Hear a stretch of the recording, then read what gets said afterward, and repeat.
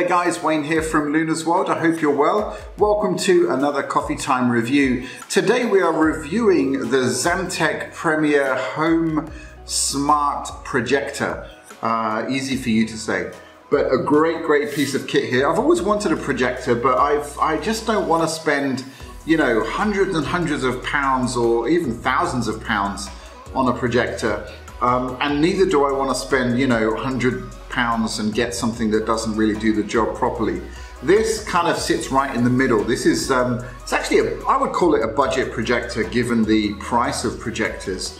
Um, but it's it's got some really cool features that we're going to talk about and check out. So right off the bat, um, in Thailand, this is a, just uh, just over 10,000 baht, so really good value. It's a 1080p uh, resolution projector, uh, but it can handle reading 4K uh, files and it will downsize it. It does a really good job of that as well. Um, the picture quality and the sound quality are excellent. Um, it's a short throw projector, so uh, it will actually um, project a 100 inch screen in a distance of three meters, which is pretty, pretty good. So um, if you've got a, a, relatively small space in your apartment or flat or studio or wherever you're using this in your home, or if you want to put it in your bedroom, for example, then uh, you're going to get a really decent screen size with um, not too much required distance from your screen. So really good. It's also Wi-Fi enabled and it runs the Android operating system. You can download uh, all your favorite apps, Netflix, Amazon Prime. You can plug in sticks. You can do all sorts of uh, stuff. Kodi as well if you're into that sort of thing. Um, so a lot of flexibility uh, of actually how to play media.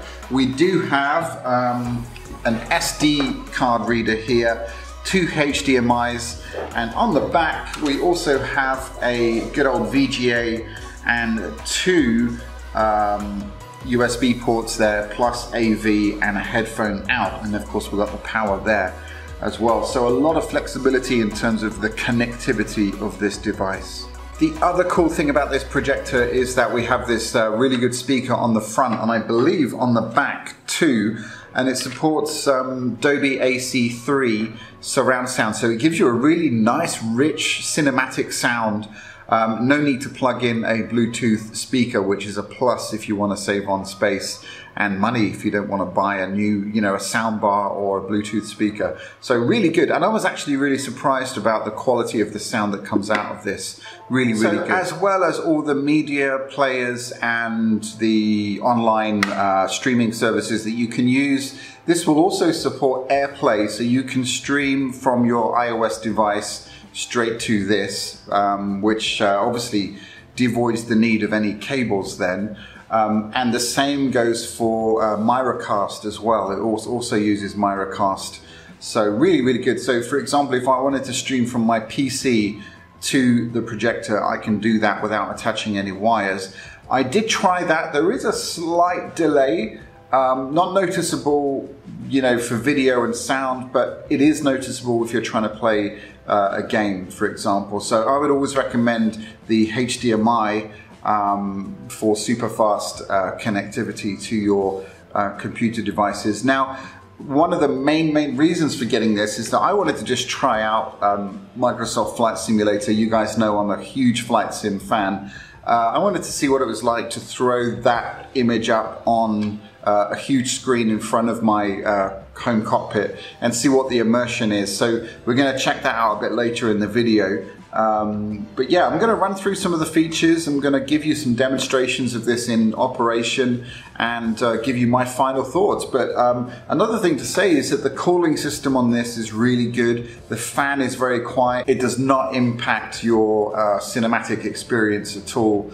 Um, so they've done a really good job there. On the top here we have the focusing ring and this is the um, the angle of the, the projected um, image there as well. We've got buttons here, but it does come with the uh, remote control, which is far more convenient. And um, yeah, ergonomically, it's really nice. It does have mounting holes on the back here, so if you want to mount it sort of upwards from a ceiling down, sorry, then you can do that. Um, and yeah, there's, there's definite some flexibility here. We also have this twisty thing on here. So if you want to, if you need to angle up the projector on your stand, you can do that very, very easily there. So really cool. They've really thought of everything with this. It's um, a complete unit. So it really is a good home cinema system that is just kind of plug and play. It really just uh, is that simple. So in terms of the spec, like I said, um, it's uh, native 1080p resolution. Um, it does have a 1 to a 4000 uh, contrast ratio, which is good. So really nice, deep, dark colors. It also has a 50,000 lamp life um, in here, so you won't be changing the lamp for some time. The projector also supports um, screen sizes from 46 inches up to 300 inches, so absolutely huge. Um, depending on the size of the room that you've got, um, I guess this would also work as an outside cinema as well, um, although not in the rain probably, and not in the daytime. Um, this does perform surprisingly well in the daytime. I've got some shots of that um, showing you a bit later on. But obviously the optimum uh, experience is in a darkened room at night time. Okay, so now's the time. Let's go plug it in, check it out and uh, do a few tests, see what the overall performance is like and uh, yeah, we can make up our mind and I'll give you my verdict at the end and I'll also show you it working with my flight simulator. Okay, so we're to test uh, the screen here just in, it's kind of, uh, it's not blazing sun, it's not like middle of the day, but it's still pretty light out and uh, yeah, I'd still consider this to be daylight. So here is what it looks like in daylight. Pretty bright. Get a close up here. And also I'll um, give you an indication as to the sound. Okay, and bear in mind, this is without any media playing. So of course, uh, you're going to notice it more like this. But anyway, this is what it sounds like.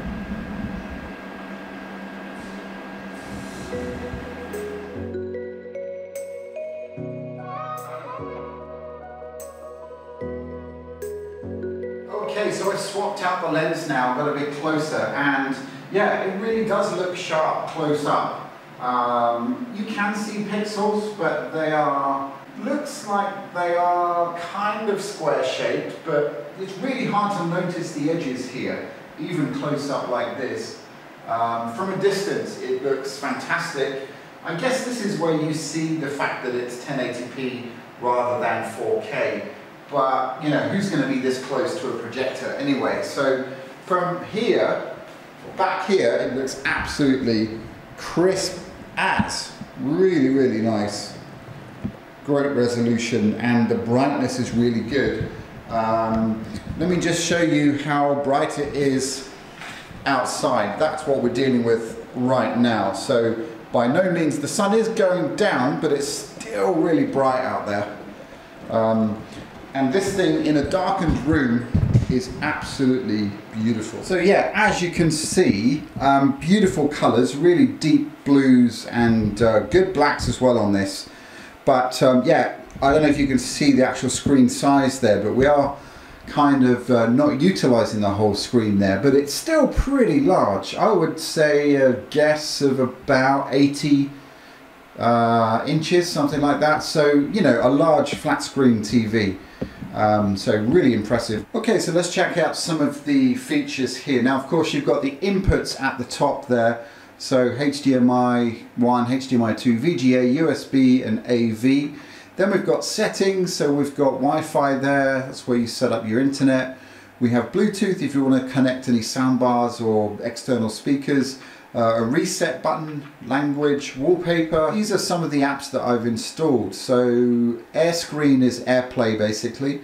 Um, Kodi there. We've got local MM, which is local media uh, Mcast, which is Miracast or Miracast, Netflix, of course, uh, NordVPN, which um, I highly recommend getting, especially if you're in Thailand, so you can watch uh, English version of Netflix or American version of Netflix, whatever you want to do.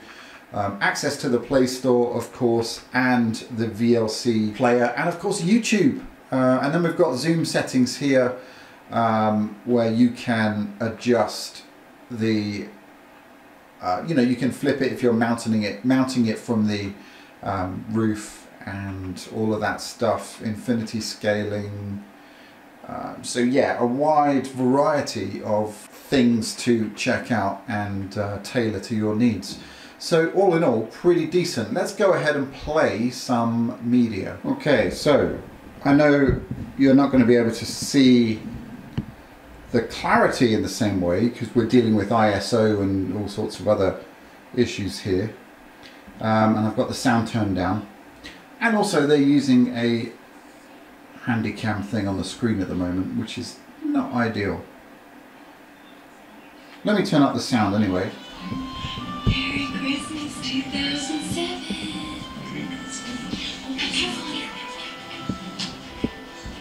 Okay, so I've gone to the home screen again of Netflix and I don't know, I'm trying to point out some pixels but it's really hard to see them even this close. I'm literally centimeters away from the actual screen now.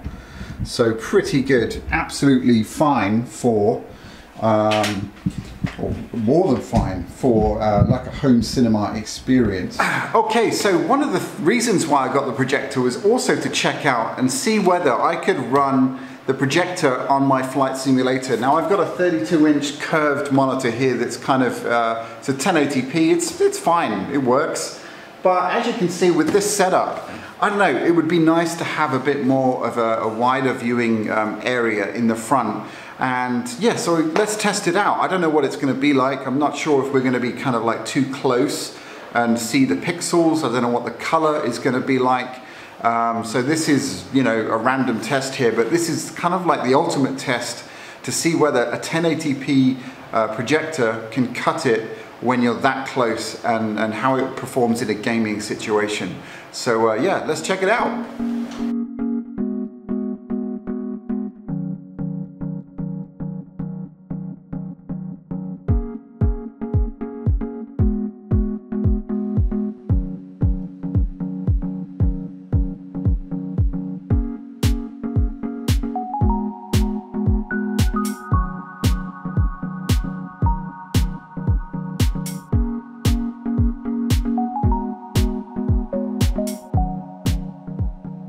So my final verdict is that this is a really good projector for the price. Um, 1080p, great quality, um, great sound quality, it's compact, um, it looks good, it's ergonomically nice, uh, the operating system works really well. Um, it's great for cinema if you've got a small place or even a big place, it's great for that too. Um, it is lacking 4K, which is a bit of an issue when it comes to using it for the flight sim. It's still pretty cool, it's a pretty good experience. I haven't got the color balance right and also the height of the, um, the screen here, so that needs a bit of adjusting. But it's quite immersive, it's pretty good. Um, I, I can't see myself using it kind of all the time. If I've got some friends around and they want to see the flight sim in action, maybe that's quite a nice way for them to you know, experience it.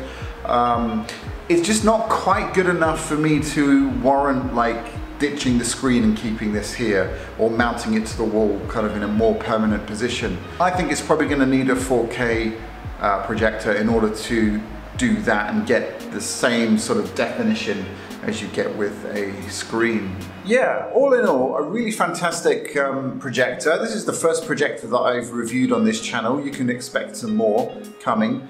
Um, but as, as a standalone home entertainment system, you know, that is Wi-Fi capable, um, I think it's fantastic, I really do. This is not a sponsored video. Um, I don't have to say these things. The downside is though, with the flight sim, the resolution isn't quite sharp enough, but um, you know, that's kind of a bit more of a specialist application, I guess. But that's kind of it guys. I hope you've enjoyed this video. Hope you enjoyed the footage of this uh, projector in action. If you've got any questions, please do let me know. And um, yeah, I'll put the link in the description if you live in Thailand and um, you're in the market for a decent projector. I think this is great value for money and um, I can personally highly recommend it for you if you're looking for a home cinema system without forking out ridiculous money and you know, a separate sound solution because the sound of this thing is really, really good. Really impressed. So guys, thank you so much for tuning in. I hope you've enjoyed this video. Let me know your thoughts. Don't forget to like and subscribe and I'll catch you guys very soon. Take care.